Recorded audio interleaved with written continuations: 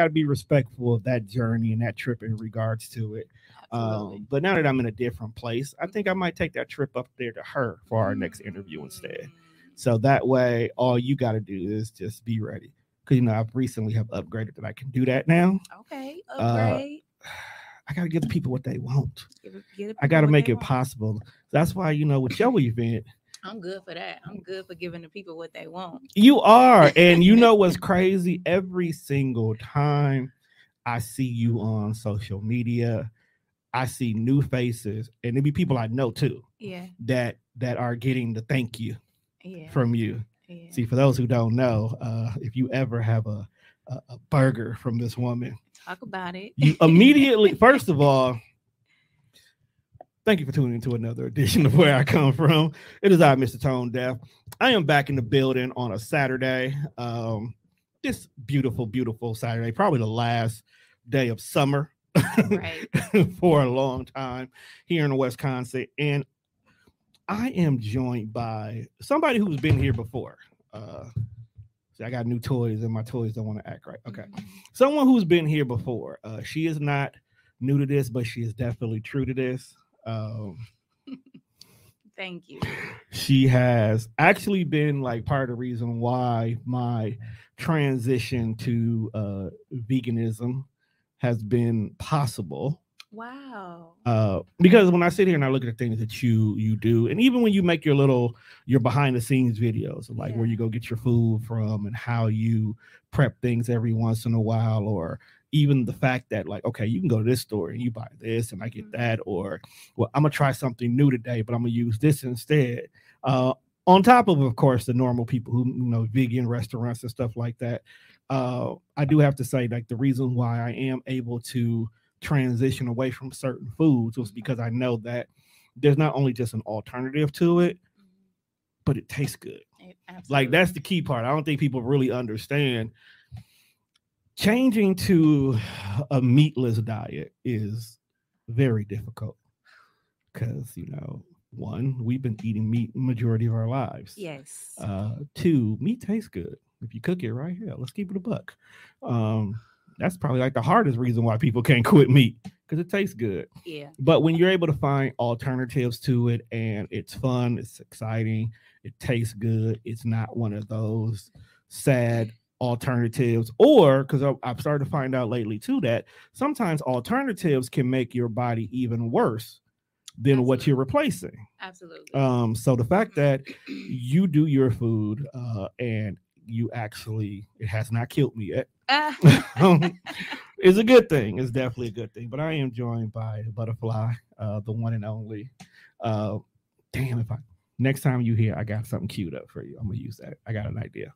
Okay. Uh, throwback. Uh, but today we are here to one give this woman her flowers because butterflies have to land somewhere.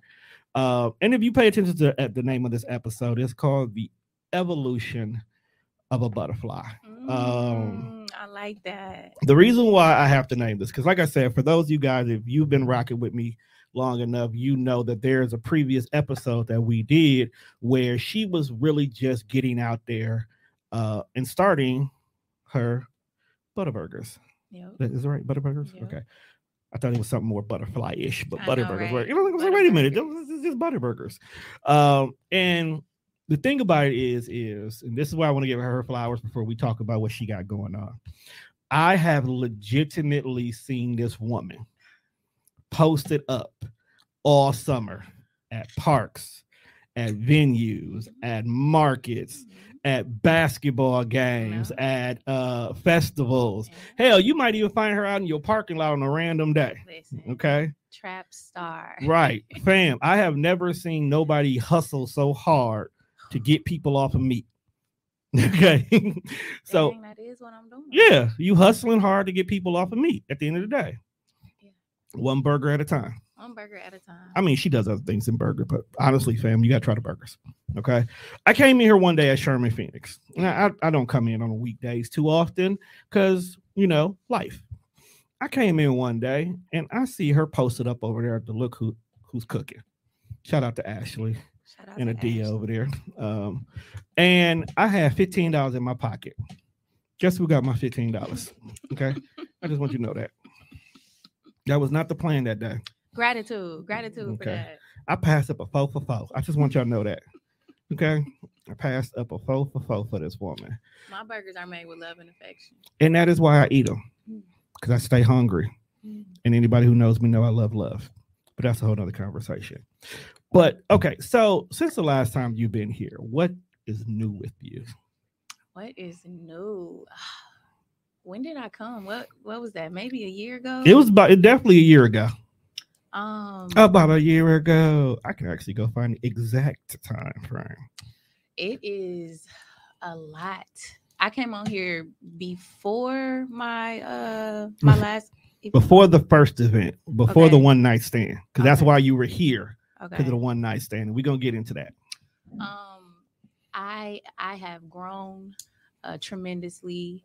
I have served. Oh, I don't even. I wish I would have got a burger counter, but You should. Oh, you should. You should get one of them little clicker things. yeah, So for every time you do a burger, first I gotta do the video, then you have to click it. Because they cash app you most of the time, don't they? yeah. Go back in your cash app for the year and see. Just see. You never know. It's a rough Cash App, estimate. cash, um, It's a rough- It's a rough estimate. Yeah, I should though. But um, I've served so many burgers. I've at least served over a thousand burgers, and I think that is pretty dope because they're not. They don't contain any meat. You know what I'm saying? They don't contain meat. They don't contain dairy, eggs, anything like that. Exactly one I'm year ago. Ser- oh, Rick, no. hmm It was October. It was October last year. Um, so yeah, I've served well over a thousand burgers. Um, I had uh uh I had my one night stand event. I also was able to do uh what was that event called? Trap brunch. Yes, I remember Um, that.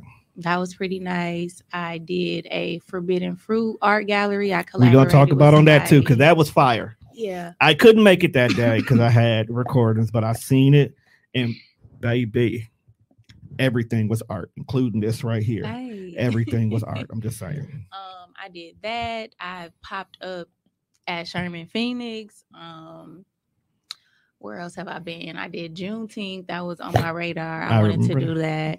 Um, How's that experience? oh, it was it was really dope. Because that was the blackest of black days. yeah, Because we had just fresh fresh out of a pandemic, so this was the first time everybody was truly outside.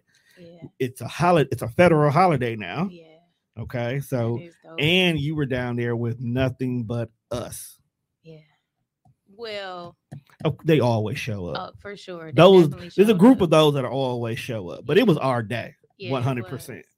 That was that. That's crazy because I'm now like Thinking about it, yeah so um the emotions are coming back and that that was really huge for me especially to even put that on one of my goals list um the prior year i'm like i have to do juneteenth so i had did juneteenth at uh, alice uh, garden okay. so i did it there the first year and then i said i wanted to do it at um you know The actual Third Street event, Yeah.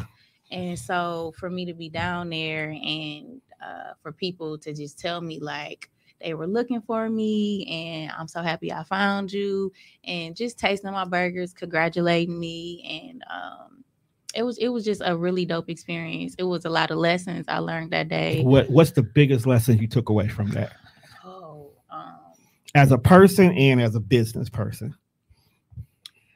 I need a team.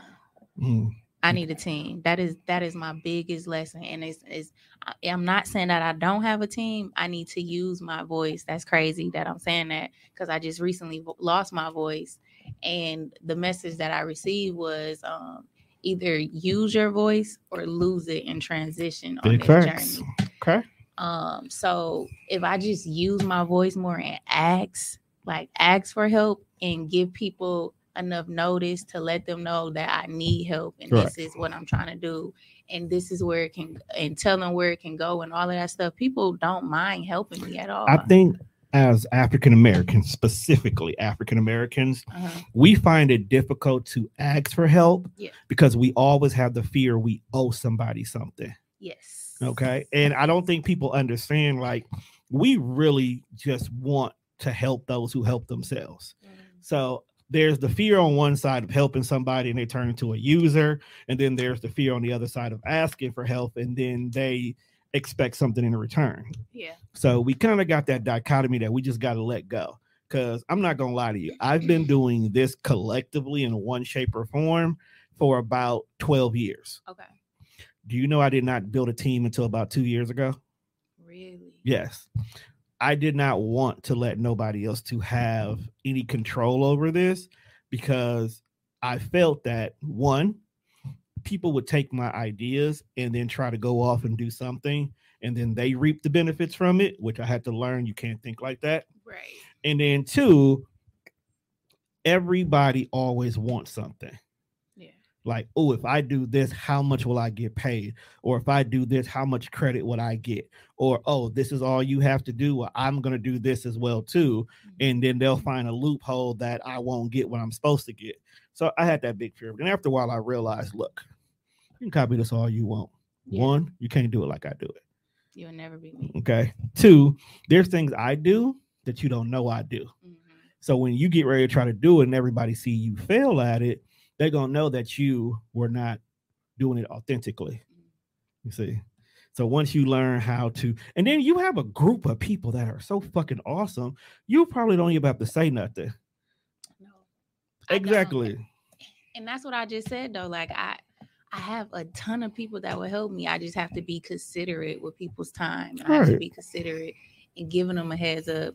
So I learned to that I need a team. I do need a team. Okay. Um and uh like signage and stuff like that. So you know I'm I'm I'm a growing business. I don't want to say small. I am a growing business. Thank you. There's no such thing as small businesses anymore. right and so um it's you know it's it's me my grill and my babies that's how we've been glazing the city so um i had my table uh but i didn't have like signage to pull people to me To know that that's what's at this table. yeah Okay. and um so I, I would say that was like one of the biggest takeaways i need a team and i need more signage um or at least somebody well that's a part of my team being in the middle of the street telling people to go over there you know because juneteenth that is i don't know if it was like 400 vendors Yeah, sounds about right. so it's like everybody trying to get your money It's 400 vendors, everybody trying to get your money. You're going to have at least mm, 5% of those vendors probably selling the same thing you selling. yeah And it's not that they're competition on purpose. It's just everybody kind of sometimes we tend to have the same kind of mission. yeah And we have to take in consideration, just like I said, you may want to hustle people to eat healthier, but that's not, you're not the only person with that concept. exactly So sometimes you got to make yourself stand out a little bit. exactly Great thing about it is, is you cool with the Sherman Phoenix. So there's people here that right that you can talk to. There's a whole little room really. off to the left from where you was posted at. yeah And just, just saying, yeah go ahead and talk to her. She'll go ahead and get the signage together for you. exactly But you just said something that um, I tend to forget about you is you are an entrepreneur mom. yeah Okay. yeah. Mom. That's the I think a lot of people we tend to leave that last part off, but you're an entrepreneur mom. heavy on the mom On the mom. heavy okay? on the mom heavy on the mom. And every time I look up, I tend to I'll see them with you no matter what. yeah Okay. It's to the point where if I see them, because they'll all one of them will be running around doing something. yeah I know you somewhere nearby. I just gotta find out where you posted at. yeah. How is how's this last year been with that?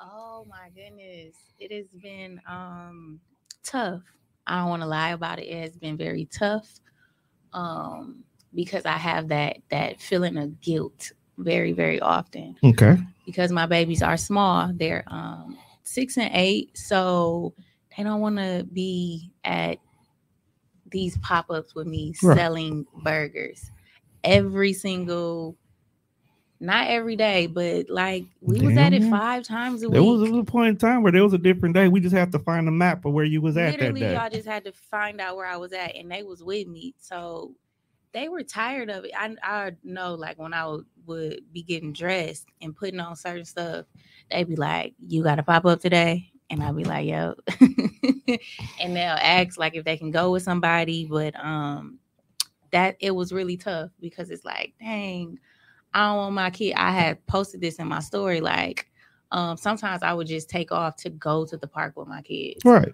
Um, and I had said, like, let me spend time with my kids because they are not about to be sitting on the couch talking about we didn't have no childhood. we had to trap every single day. I mean, they'll be hustlers, but I feel you on that. They do. Um, one of the things that I did learn to do is to um to get them more involved. Right. So my daughter does tea. She does really, really well with her tea. Um, she's better than me with um her marketing skills.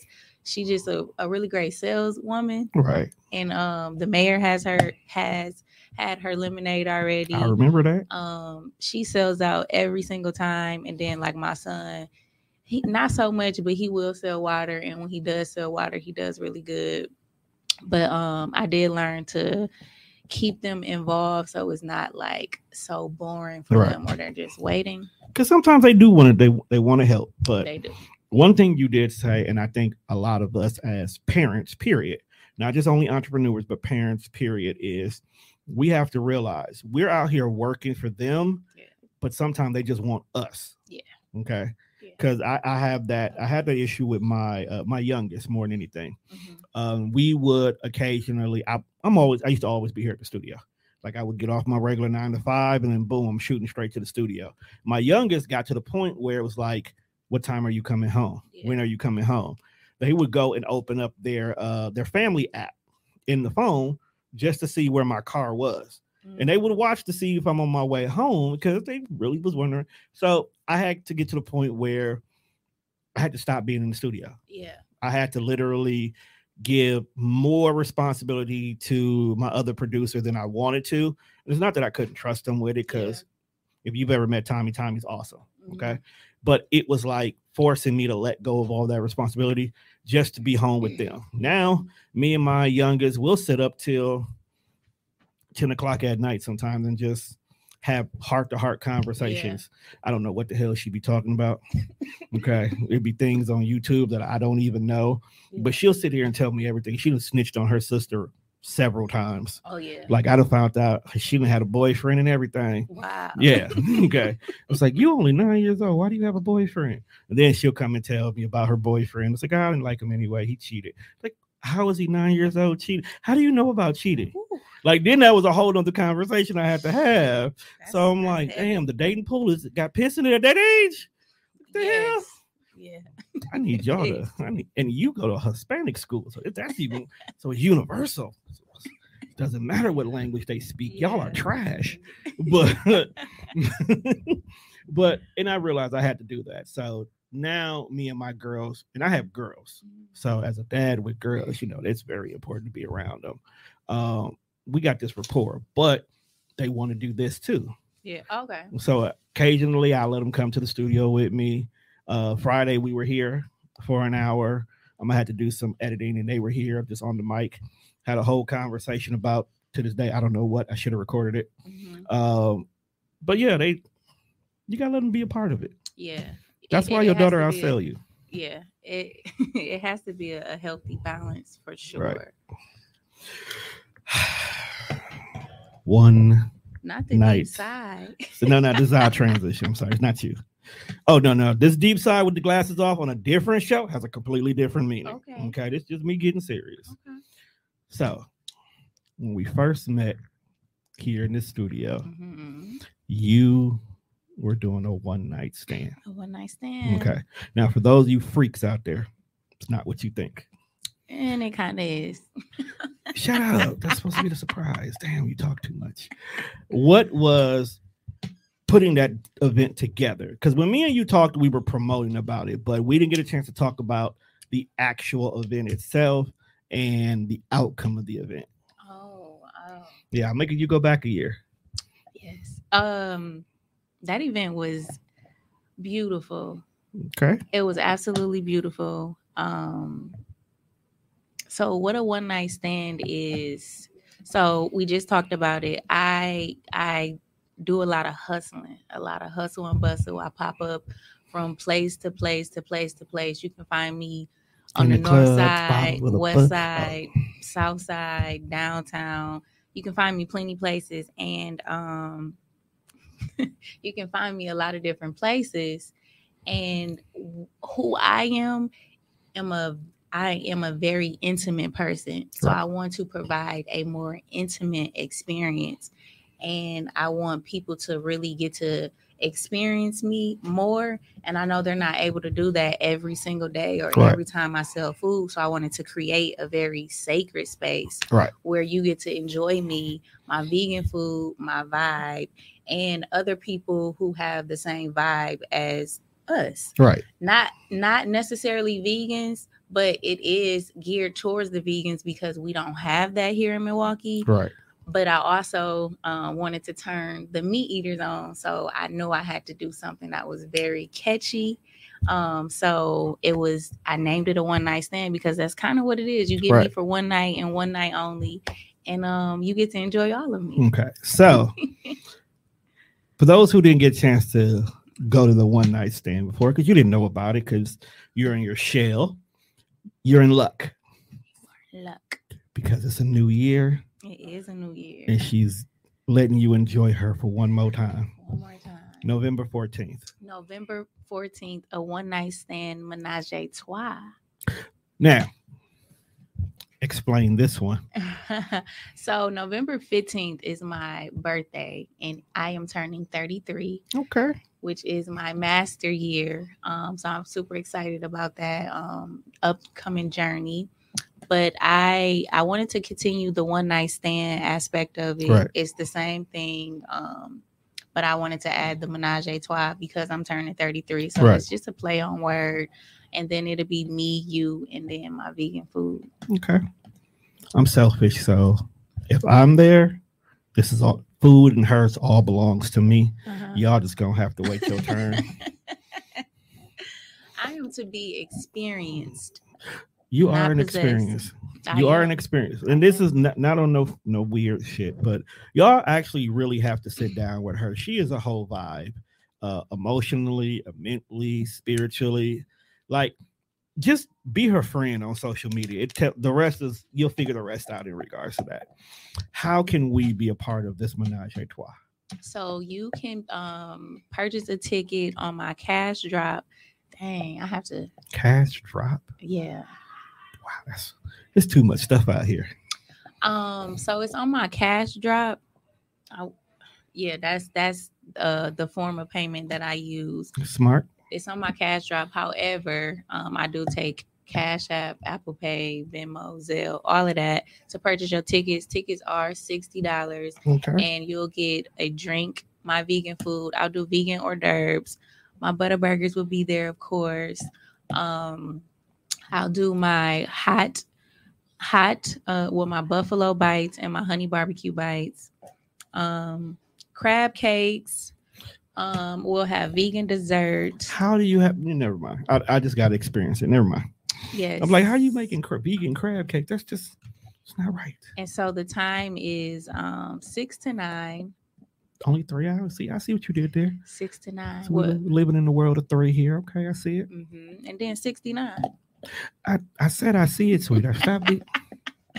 Um, and then uh so yeah, it's gonna be at Makoko's restaurant, which is absolutely gorgeous. Did I've been here. I haven't been into Macoco's yet, but I hear so many people talk about it. oh my goodness, it is so gorgeous in And it's not that far from my house, from what I keep Oh, hearing. really? Yes. Yeah, so the address is 7420 South Greenfield. Mhm. Um, That's like maybe five blocks from my house. oh max. wow.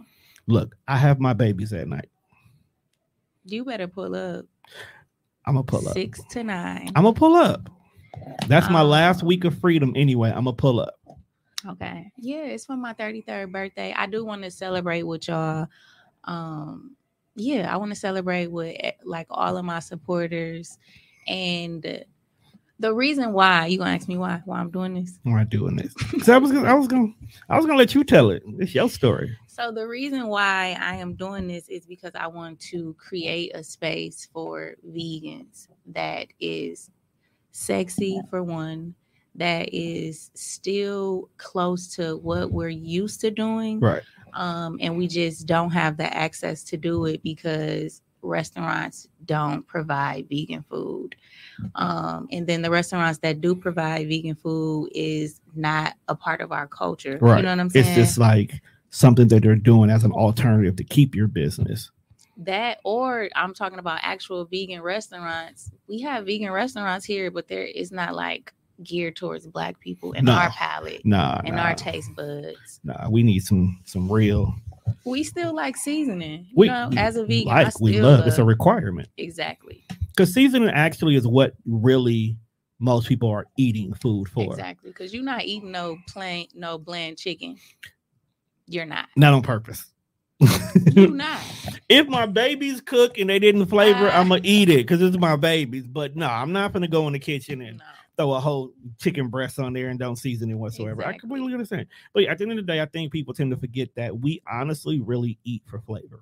Yeah. So if you realize that what the flavor that you look for when you get a burger or when you're getting a steak or when you're getting a chicken can be emulated without having all of that um, meat products added into it, Right. for most people it's not a it's not a hard shift. Right. And I think that's the biggest reason why so many people won't go vegan because there's no guaranteed spots that make us feel like if I go in here and I want a turkey leg, whether it's vegan or not, it's still gonna taste like what I think a turkey leg should taste like, Mhm. which is why I fuck with you.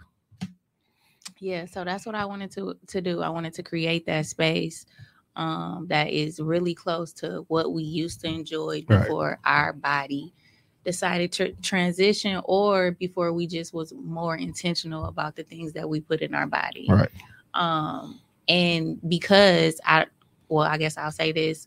Um, my body started rejecting me. So that's I how think I remember you saying a story about Yeah. that one time.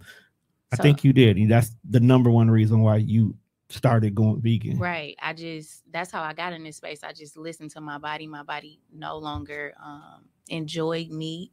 Um and my body was mm-hmm. literally rejecting it. I was getting super sick. So I just listened to my body and then I transitioned. And in the midst of transitioning, I realized that I don't have anything that is going I, we don't have anything in Milwaukee that is going to make me enjoy this journey. Right. So I had to figure something out to where like, okay, your body don't like it. So if you keep eating meat, you're gonna be sick. Right. And that's not an option. So what you gonna do about it? And that's that's when I was like, okay, I could cook my own shit. Right. And uh, um when I cook my own shit, I, I I season it how I like it, how I enjoy it. Um and then y'all know I put my love and affection in there.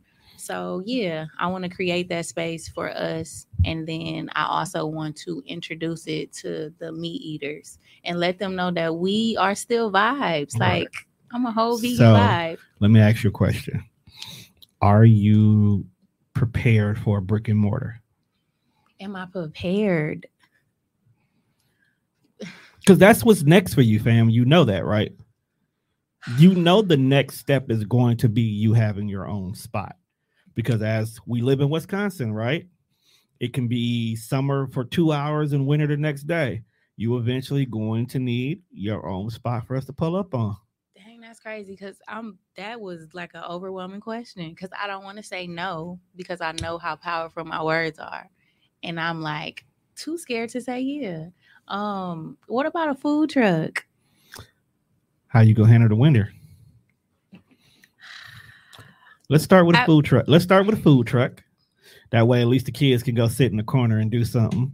Absolutely, I am ready for a brick and mortar. Let me just put that out. There there you go. I was waiting for me you. I, I was not going to let you change your mind. You were going to say yes. Let me put that out there. Yes, I am ready. Um, but I want to work towards a food truck first. You can do both at the same time. You know that, right? okay? Well, you gotta you gotta have some place to cook the food, right? Okay. You know, a brick and mortar don't mean you have to have a big old restaurant. Okay. Yeah. All you need is a little corner in somebody's spot. yeah. A space. That's all you need. Space to cook. Yeah. That way, they eat. Everybody don't have to be at your house. So when I did um Meatless Monday at Macoco's, I was in a commercial kitchen Mhm. and that feeling was just phenomenal. It felt like it felt right. so I I am a, a firm believer um that you can speak things into existence. Mm-hmm. I, I I'm gonna try to look for this video, but I um I was on my stories and I was making burgers and I was recording and I just said it was random as a mud and I was just like, order up. And then I was like, uh, I'm just practicing, y'all. Um, I'm just practicing to um, I'm just practicing for when I get my restaurant. And then when I was at Macoco's and I was making burgers, I'm like, dang. You in a restaurant. Right. I so, was like, dang, that's crazy. So now we gotta go. So what we gotta do is we gotta find a spot. Mm-hmm. So we gotta make it, it can't be a regular restaurant. We gotta make it a vibe. So it's gotta be like a club nobody wants anymore. Mm-hmm. That way we can have our homies over here on the bar We can have a nice little vibe area, maybe a little stage so people can, you know, perform poetry, live sets, maybe do live podcasts there because you know you got to look out for the little people. Okay, but in the main focus is there's the it's called the Buddah Fly. Mm, okay, so that way your food is vegan kicked in the back, but most folks won't realize it's vegan until they try it. It's always gonna be one person that's like, ugh, it's vegan, I don't want it. And their friend gonna be like, nigga, you crazy, try this, and then they're gonna eat it. And that's always the only reason why they're gonna be here all the time is for the food. They're gonna stay for the atmosphere. So that's what we're gonna do. Yep. We're gonna put it somewhere here on the north side. I got a nice little spot, nice little idea. Mm-hmm. All right. So we, we're talking about it right now. I just want you to know that. We talking okay. about it. So one year from now, when you come back here, and it's time for your next one night stand, the four way dance it's going to be coming from the Buddah Fly. Mm-hmm. Got it. All right. I don't want to keep you much longer because I want you to go out here and enjoy the sun and go hug a tree or two. you know I'm a hug a tree. hug a tree or two. Got hug two. Yeah. All right. So where can they find you? Where can they sign up for this event at? Um so you can find me on Facebook and Instagram at Buddah Fly B U D D A H F L Y. Um, what was the next question? Run down the information about your event one more time. So, um, I really hope that y'all come out to help me celebrate my 33rd birthday. It's called a one night stand menage a trois.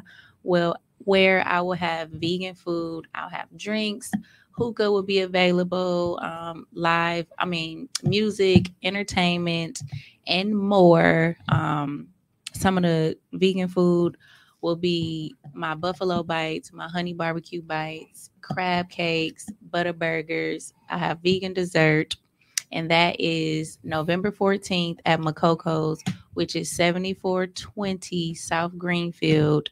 Um, you can purchase your tickets at Cash Drop type in menage a trois with butter love. All right. With that being said, people, we have come to the end of this episode. Make sure you check us out on all the things that's Spreaker, Spotify, iHeartRadio, or wherever else you um, listen to your podcast at. Um, definitely make sure you follow her because she's a whole vibe. Follow me, y'all. She's a whole vibe in two thirds. So, with that being said, people, we are out of here. Peace.